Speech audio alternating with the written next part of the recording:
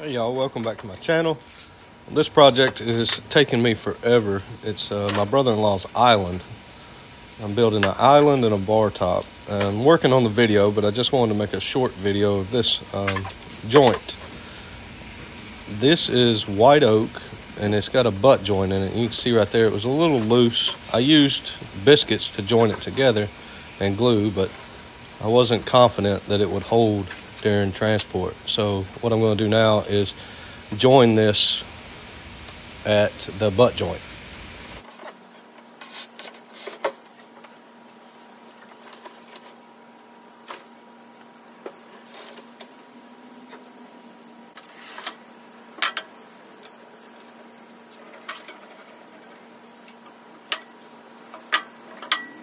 This is a cutoff from the lumber that I was using to make the island.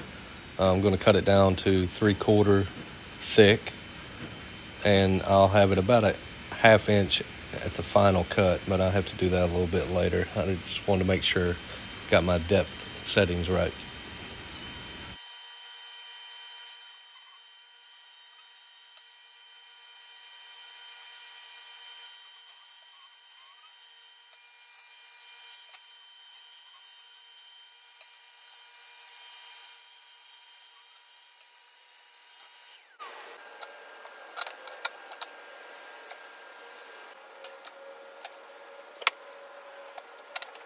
I just guessed on about eight inches on either side of that butt joint because uh, just seemed like a good number. Uh, one side is 30 inches by 64 and a half, and the other side is 25 by 41 at that butt joint. So um, it seemed like eight inches was a good number.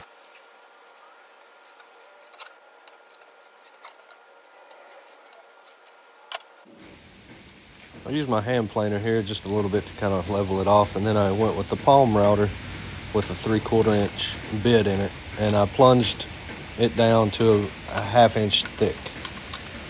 I just kind of trimmed the edges here to where I get a little bit of squeeze out when I glued it together.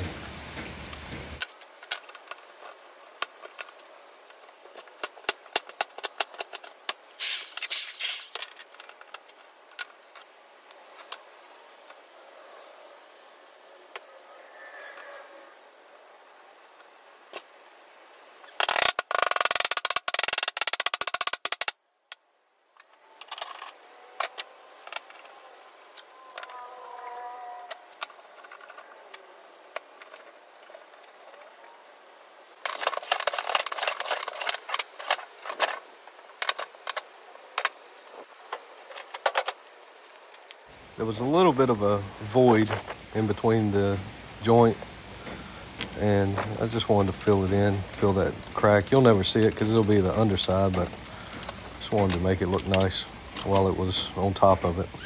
I just sanded it down nice and smooth.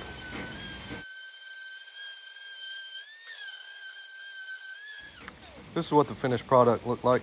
I think it turned out pretty good and I think it'll be strong enough to hold while I'm transporting it. Hey, thanks for watching. And uh, if you want to see more, subscribe.